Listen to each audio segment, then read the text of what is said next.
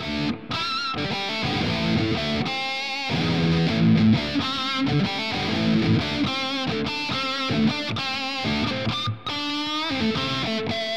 there, welcome back to the channel. Thanks for watching.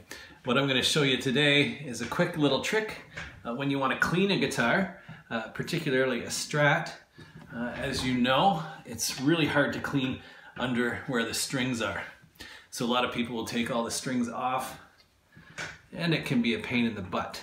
Uh, I find once I take them off the headstock, they're all over the place. You know, they're winging around. So I used to pull them through the bridge and let them hang out the bottom, which was better, uh, but I got a new trick I want to share with you.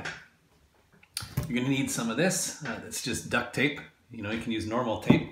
Um, but what I do, well, here, it's best I show you. Let's segue.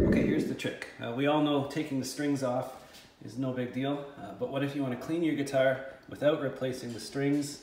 It can be a pain on a Strat. They get all tangled up.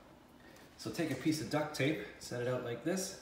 So when you take your first string off, you just slide it over here and stick it to the tape.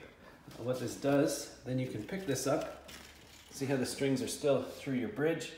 You can clean under here. Uh, you can set these back as you're doing that. Then you move this forward so you can clean the back. And then when it's time, you just put them back in. Super easy, uh, saves you a pack of strings if your strings are in good shape but you want to clean the guitar. Okay, so that's it. It works really well. It'll be nice and clean. You just need a bit of tape. And uh, when you're done, your Strat's all clean. Same set of strings, so I didn't have to buy new ones. And no uh, rat's nest for my cat to play with. All right, thanks for watching. Cheers.